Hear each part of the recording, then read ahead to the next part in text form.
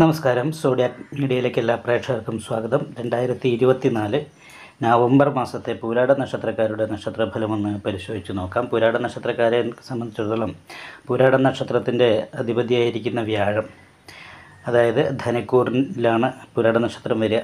അപ്പോൾ വ്യാഴം നിൽക്കുന്നത് ആറാം ഭാവത്തിൽ ശത്രുസ്ഥാനത്താണ്. അപ്പോൾ വ്യാഴം മറഞ്ഞിരിക്കുന്നു എന്ന് പറയുന്നൊരവസ്ഥയാണുള്ളത് ലഗ്നത്തിന്റെ പന്ത്രണ്ടാം ഭാവത്തിലാണ് നിവൃത്തിസ്ഥാനാധിപതിയായിരിക്കുന്ന ബുധൻ നിൽക്കുന്നത്. നാലിൽ രാഹുവും പത്താം ഭാവത്തിൽ ഘണ്ണകാരകനായിരിക്കുന്ന കേതുവും അഷ്ടമത്തിൽ ചൊവ്വയും നിൽക്കുന്ന സമയമാണ് എന്ന് വെച്ചാൽ എല്ലാ ഗ്രഹങ്ങളും അനിഷ്ടസ്ഥാനത്ത് നിൽക്കുന്നു എന്ന് പറയുന്നൊരവസ്ഥയും ഭാഗ്യാധിപതിക്ക് നീചാവസ്ഥയും ഉള്ളത് കൊണ്ട് ഈ മാസത്തിൽ കുറച്ച് നല്ല പ്രാർത്ഥന വഴിപാട് മുതലായിട്ടുള്ള കാര്യങ്ങളൊക്കെ വേണം കാര്യങ്ങൾക്ക് അനുകൂലമായി വരണമെങ്കിൽ.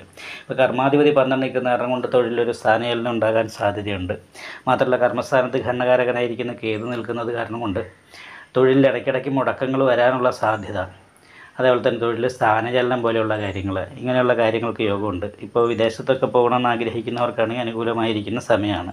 മാത്രമല്ല അഞ്ചാം ഭാവാധിപതി അഷ്ടമത്തിൽ നിൽക്കുന്ന മാനസികമായിട്ട് കുറച്ച് ടെൻഷൻ വർദ്ധിക്കുക മക്കളെ പ്രതി മാനസികമായിട്ട് കുറച്ച് ടെൻഷൻ ഉണ്ടാകുക ഇങ്ങനെയുള്ള കാര്യങ്ങൾക്ക് യോഗമുണ്ട്. ലാഭസ്ഥാനത്ത് നിൽക്കുന്നത് സൂര്യനും ലാഭാധിപതി ശുക്ര സാന്നിധ്യ സ്ഥാനത്ത് നിൽക്കുന്നത് നല്ലത് തന്നെയാണ്. ഭാഗ്യം കൊണ്ട് സാമ്പത്തികമായിരിക്കുന്ന ലാഭങ്ങൾ അനുഭവിക്കാനുള്ളൊരു യോഗമുണ്ട്. പക്ഷേ ഒരു പരിവർത്തന യോഗമാണ്. ശത്രു സ്ഥാനാധിപതിയാണ് ലഗ്നത്തിൽ നിൽക്കുന്ന ശുക്രൻ. ലഗ്നാധിപതി ശത്രു സ്ഥാനത്തും പരിവർത്തന യോഗം ചെയ്ത് നിൽക്കുന്നത് കാരണമുണ്ട്. നമ്മൾ തന്നെ നല്ലത് വിചാരിച്ച് ചെയ്യുന്ന കാര്യങ്ങൾ നമുക്ക് തന്നെ തടസ്സങ്ങളായും ദോഷങ്ങളായിട്ടും വരാനുള്ള സാധ്യത കൂടുതലാണ്. അപ്പോൾ അത് പ്രത്യേകമായിട്ട് ശ്രദ്ധിക്കണം. അതേപോലെ തന്നെ നാലാം ഭാവത്തിൽ രാഹുവാണ്. വീട്ടിൽ നിൽക്കുന്ന സമയത്ത് വിപരീത സ്വഭാവം സന്തോഷിക്കുമ്പോൾ പെട്ടെന്ന് ടെൻഷൻ ഉണ്ടാകുക. അതേപോലെ തന്നെ വീട് വിട്ട് നിൽക്കാനുണ്ടാവുക ഇങ്ങനെയുള്ള കാര്യങ്ങൾക്ക് യോഗമാണ്. സഹായ സ്ഥാനത്ത് സഹായ സ്ഥാനാധിപതി സ്വക്ഷേത്ര ബലവാനായി നിൽക്കുന്നത് കാരണം കൊണ്ട് നമ്മൾ പ്രതീക്ഷിക്കാത്ത രീതിയിലുള്ള സഹായങ്ങളും സഹകരണങ്ങളും മറ്റുള്ളവരുടെ ഭാഗത്ത് നിന്ന് ഉണ്ടാകാനും സഹോദര സംബന്ധമായിട്ട് ജ്യേഷ്ഠ സഹോദര സ്ഥാനീയരുടെ ഗുണം അനുഭവിക്കാനും യോഗമുള്ള സമയമാണ്. അതുപോലെ തന്നെ മറഞ്ഞ ബുധനാണ് നിറഞ്ഞ വിദ്യ എന്ന് പറയുന്ന ഒരു അവസ്ഥയാണ്. വിദ്യാർത്ഥികൾക്ക് പഠനത്തിന്റെ കാര്യത്തിലൊക്കെ അനുകൂലമായിരിക്കുന്ന ഗുണഫലങ്ങൾക്ക് യോഗമുണ്ട്. എന്നാൽ തൊഴിൽ അന്വേഷിക്കുന്നവരെ സംബന്ധിച്ച് കുറച്ച് അലച്ചിൽ വർദ്ധിക്കാനുള്ള യോഗമാണുള്ളത്.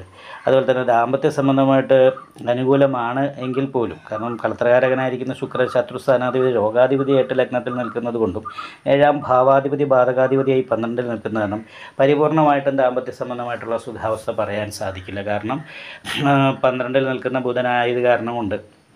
അത് ശാരീരികമായിട്ട് എന്തെങ്കിലും അസ്വസ്ഥതകളുള്ളത് കാരണമുണ്ടോ? അല്ലെ പരസ്പര അഭിപ്രായ വ്യത്യാസം ഉള്ളത് കാരണം കൊണ്ടോ പരസ്പരം മാനസികമായിട്ട് അത്ര ഒരു അറ്റാച്ച്മെന്റ് ഇല്ലാതെ ഇരിക്കാനുള്ളൊരു സാധ്യത കൂടുതലാണ്. അപ്പോൾ ഈ കാരണങ്ങൾ കൊണ്ടൊക്കെ തന്നെയാണ് മാനസികമായിട്ടുള്ള ടെൻഷൻ വർദ്ധിക്കാനുള്ള സാധ്യതയുള്ളത്.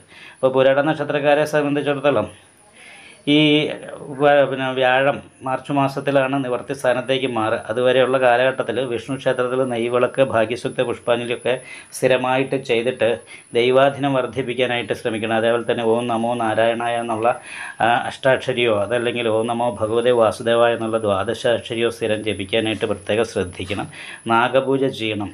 അതേപോലെ തന്നെ ഭാഗ്യാധിപതി ബലഹീനായി നിൽക്കുന്നത് കാരണം കൊണ്ട് ശിവക്ഷേത്രത്തിൽ ശംഖാഭിഷേകം നെയ്വിളക്ക് കൂവളമാല മുതലായിട്ടുള്ള വഴിപാടുകളൊക്കെ ചെയ്തിട്ട് നന്നായിട്ട് പ്രാർത്ഥിക്കുക. ശത്രുദോഷ പരിഹാരമായിട്ട് സുദർശന പുഷ്പാഞ്ജലി വിഷ്ണു ക്ഷേത്രത്തിൽ ചെയ്യുക. ദേവീ ക്ഷേത്രത്തിലും അതുപോലെ തന്നെ ഗുരുതി പുഷ്പാഞ്ജലി നെയ്വളൊക്കെ മുതലായിട്ടുള്ള വഴിപാടുകളൊക്കെ ചെയ്ത് നന്നായിട്ട് പ്രാർത്ഥിച്ചാൽ മാത്രമേ ഈ മാസത്തിൽ അനുകൂലമായുള്ള ഗുണങ്ങൾ ഉണ്ടാകുള്ളൂ നിങ്ങൾക്ക് ഈ വീഡിയോ ഇഷ്ടപ്പെട്ടാൽ ലൈക്ക് ചെയ്യുക. നിങ്ങളുടെ അഭിപ്രായങ്ങൾ കമന്റ് ചെയ്യാം.